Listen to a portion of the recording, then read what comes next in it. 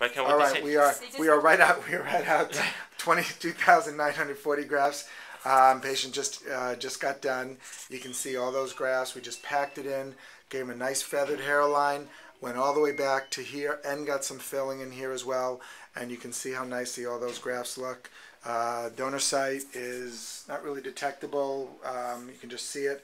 Um, just because there's a little bit of blood around this incision, but even with this very short hair, uh, that'll be able to be concealed by probably a day or two, and you can see everything good. Absolutely excellent. All right, good. It's wonderful.